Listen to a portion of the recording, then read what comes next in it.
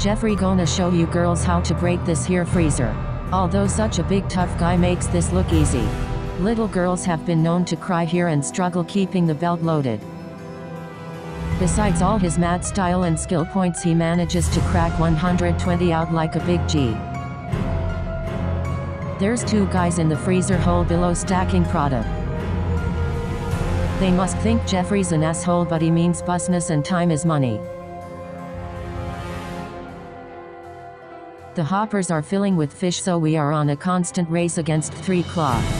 Now no one expects you to be as badass as Jeffrey the first time and yes Jeffrey is willing to sign you up for his 90 day workout plan plus success pipeline included. And I assume you have watched this far and either find Jeffrey amusing or think you can hang with the big dogs.